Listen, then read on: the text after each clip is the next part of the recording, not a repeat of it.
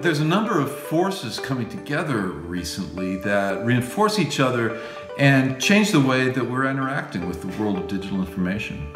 On one hand, we have all of these smart connected devices, and at the same time, we're starting to expect access to digital services or data wherever we happen to be. There's cloud-based services that allow us to do instant translations and natural language understanding that developers are already starting to leverage. And all of these factors are combining to create an interaction with the digital world that is very different to the point and click that we had in the past. By conversational UI, we mean a spectrum of user interface design. We have intelligent chatbots. They consume services and can learn and improve over time.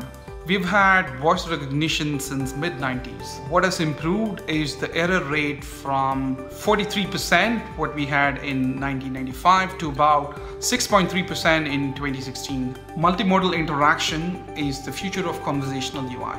We are trying to push the boundary beyond voice and understanding the intent through hand movements, gestures, and facial expressions. Imagine just swiping your hand and your audio system picks up and adjusts the control.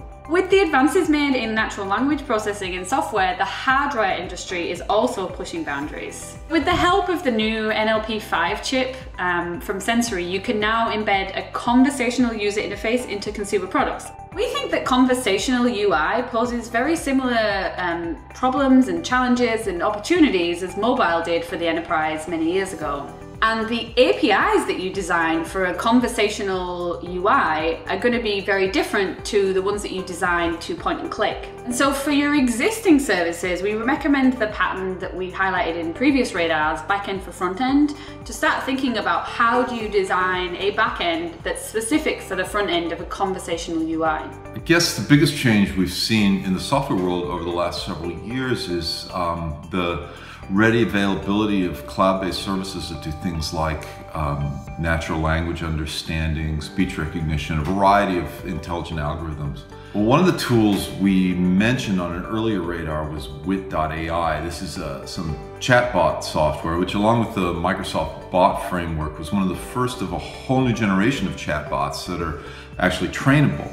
Um, more recently, there's one on the radar called API.ai, which is not only trainable, but supports some kind of, some goal-seeking behavior, and this feature is known as slots.